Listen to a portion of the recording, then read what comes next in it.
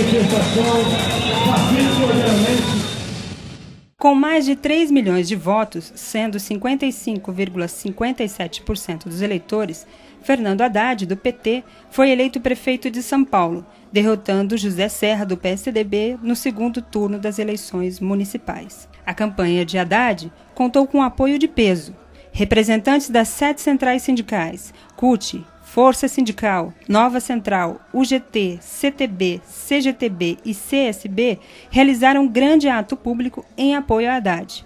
O evento foi no auditório do Sindicato dos Eletricitários de São Paulo, reunindo centenas de trabalhadores, sindicalistas, políticos e contou ainda com a presença do ministro do Trabalho e Emprego, Brizola Neto. PDT, Partido Democrático Trabalhista, que traz na sua história a liderança de homens como Getúlio Vargas, João Goulart e Leonel Brizola, numa eleição como a eleição de São Paulo, com o caráter nacional que tem a eleição de São Paulo, com a importância que tem a eleição de São Paulo, não poderia se calar, porque o PDT tem lado, o PDT é do lado dos trabalhadores, e o lado dos trabalhadores em São Paulo é o lado de Fernando Haddad, é o lado do Partido dos Trabalhadores e é o lado, acima de tudo, do povo trabalhador de São Paulo.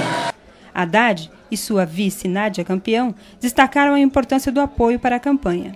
A participação, o apoio, a ampliação da presença do movimento sindical, dirigentes de todas as centrais, é fundamental, porque a gente refaz uma frente sindical que apoiou o presidente Lula, que apoiou a eleição da presidenta Dilma e que vem ajudando a transformar o país no sentido de mais respeito, mais, mais direitos dos trabalhadores. Todas as centrais reunidas aqui né, para manifestar o apoio. Isso significa que eu não estou representando um projeto pessoal, estou representando um projeto político de resgate da cidadania em São Paulo. Né? Os trabalhadores estão com uma pauta extensa de reivindicações por melhoria de qualidade de vida. A questão sacrificada do transporte, da saúde estão na, no topo das prioridades. E nós nos comprometemos a fazer um governo de participação. Durante o ato, foi lido um manifesto em que os dirigentes explicam as razões do apoio a Haddad e faz uma série de reivindicações, como investir na saúde, educação, qualificação profissional e criação de empregos com qualidade.